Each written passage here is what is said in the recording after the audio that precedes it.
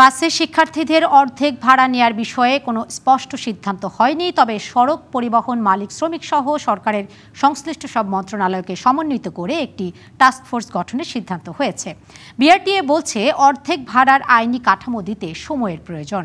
আর মালিক, শ্রমিকরা দাবি করছেন, অর্ধেক ভাড়া নিলে পরিবহন মালিকদের ক্ষতিপূরণের কি হবে তা আগে ঠিক করতে হবে।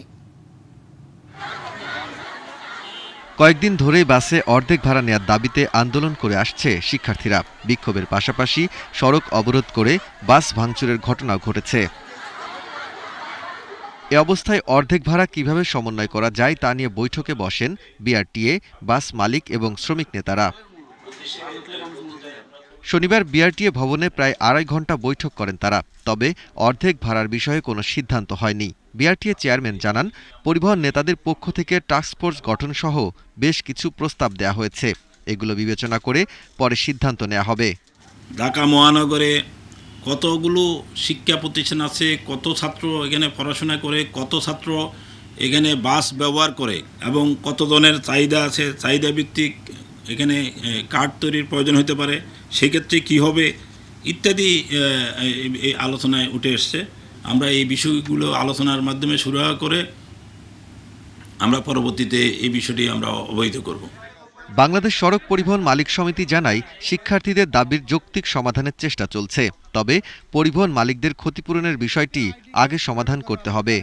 যে দেশে ভোটার আইডি কার্ড জাল হয় যে দেশে ড্রাইভিং লাইসেন্স জাল হয় সেখানে এরা যে ছাত্র কে কোন ছাত্র তখন তো দেখা যাবে অনেক প্রতিষ্ঠানের ইয়াং ছেলেরা সবাই কার্ড করে ফেলবে। তখন দেখা যাবে গাড়িতে ছাত্র ছাত্র আর ছাত্র। এই বিষয়গুলো তো সমাধান করতে হবে ট্যাক্সের মাধ্যমে। সবার সাথে সমন্বয় করে দ্রুত বিষয়টি সমাধানের আশ্বাস দিয়েছে দুপক্ষই। এ সময় শিক্ষার্থীদের রাস্তা ছেড়ে দেওয়ার আহ্বান জানান তারা। এই ঘটনা থেকে তারা যেন যার যার শিক্ষা প্রতিষ্ঠানে ফেরত যায়। Daud Khan DBC news Dhaka. দর্শক, এ বিষয়ে আরও কথা বলতে আমাদের সাথে অনলাইনে যুক্ত হচ্ছেন বাংলাদেশ যাত্রী কল্যাণ সমিতির মহাসচিব মোজাম্মেল হক চৌধুরী। জনাব মোজাম্মেল হক চৌধুরী, স্বাগত আপনাকে ডিবিসি নির্বাচিত সংবাদে। একটু পরিষ্কার ধারণা চাই। আমরা যেই রিপোর্টটি মাত্র দেখলাম, আমার দেখলাম যে বিআরটি এর চেয়ারম্যান তিনি বলছেন যে, যাত্রীবাহী বাসে কত ভাগ শিক্ষার্থী চলাচল করে কিংবা কি সংখ্যক শিক্ষার্থী চলাচল করে তার সঠিক পরিসংখ্যান তাদের কাছে নেই। আপনার কাছে জানতে চাইব, যেহেতু আপনারা যাত্রীদের কল্যাণ নিয়ে কাজ করেন আপনাদের কাছে কি এমন কোনো পরিসংখ্যান আছে কিনা আপনাদের গবেষণায় যে কি পরিমাণ বা কি সংখ্যক শিক্ষার্থী যাত্রীবাহী বাস ব্যবহার করেন? ধন্যবাদ আপনাকে। আমাদের কাছে আসলে স্পষ্টত এই রকম কোনো পরিসংখ্যান নেই। তবে আমরা যেটা মনে করি ঢাকা এবং চট্টগ্রাম মহানগরী সহ শহরতলির বাসগুলোতে অফিস সময়ে বিশেষ করে যখন স্কুল কলেজ চালু থাকে রবি থেকে বৃহস্পতিবার পর্যন্ত পাঁচ থেকে সাত শতাংশ স্টুডেন্ট এখানে যাতায়াত করে।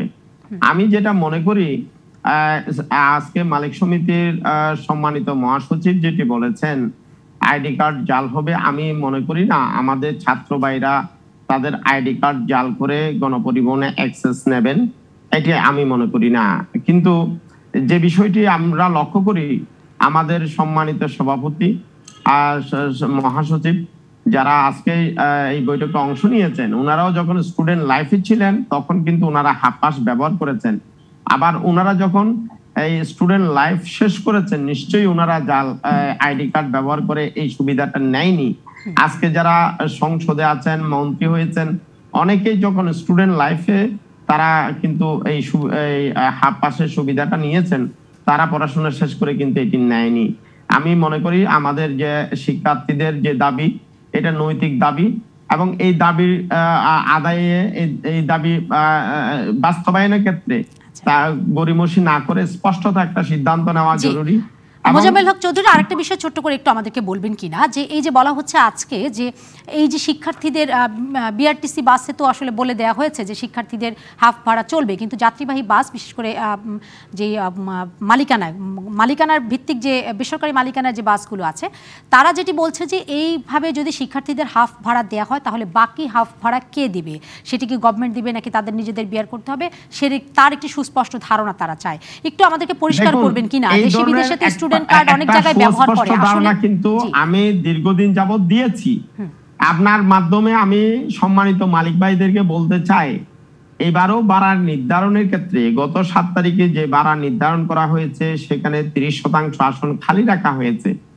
এবং প্রতিটি বাসে এই তিরিশ শতাংশ আসনের বাইরে বা বাকি যে আসনগুলো আছে প্রত্যেকটা বাসে কিন্তু পাঁচ থেকে সাতটি কোনো কোনো বাসে দশটি পর্যন্ত অতিরিক্ত আসন সংযোজন করা থাকে।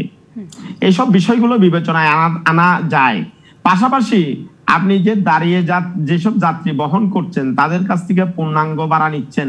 সেই আহ, যে স্ট্যান্ডিং যাত্রীগুলো তাদের এই বিষয়গুলো অর্থাৎ এই তিনটা বিষয়কে যদি আমরা বিবেচনায় নিয়ে আসি অর্থাৎ যে তিরিশ শতাংশ আসন খালি রাখা হয়েছে তার বারা অপর সত্তর শতাংশ যাত্রীরা বহন করছে এবং তার বাইরে প্রত্যেকটা বাসে কিছু অতিরিক্ত আসন সংযোজন করা থাকে। তার বাইরে আপনারা স্ট্যান্ডিং যাত্রী বহন করছেন। এই তিনটা বিষয়কে যদি বিবেচনায় নিয়ে আসা যায় তাহলে প্রত্যেকটা বাসে ন্যূনতম আট থেকে দশ জন স্টুডেন্টদেরকে হাফ পাশে যাতায়াতের সুযোগ দেওয়া যায়। তাতে করে মালিক ভাইদের তেমন কোনো অসুবিধা হওয়া বা তাদের লস হওয়ার কোনো সুযোগ নেই। এখন বিষয়টা হচ্ছে যে আমরা শুধু পরিবহন কি ব্যবসায়িক খাত হিসেবে দেখব? নাকি এটা একটা সেবা খাত? পাশাপাশি এখানে যে সামাজিক দায়বদ্ধতার একটা জায়গা রয়েছে সেই বিষয়টিও কিন্তু বিবেচনায় নেওয়া অত্যন্ত জরুরি। সবকিছু বিবেচনা করলে আমি মনে করি হাফ পাশের বিষয়টি দীর্ঘদিন যাবৎ আহ, প্রচলিত বিধি হিসেবে ছিল, নিয়মের মধ্যে ছিল, এবং এই সুবিধা সবাই নিয়েছেন, এবং এই বিষয়টিকে আইন আকারে একটা প্রজ্ঞাপন জারির মধ্য দিয়ে নিষ্পত্তি করা অত্যন্ত জরুরি। অনেক ধন্যবাদ জানাচ্ছি মোজাম্মেল হক চৌধুরী আপনাকে আমাদের আয়োজনের সময় দিয়ে এই ধারণাগুলো পরিষ্কার করার জন্য।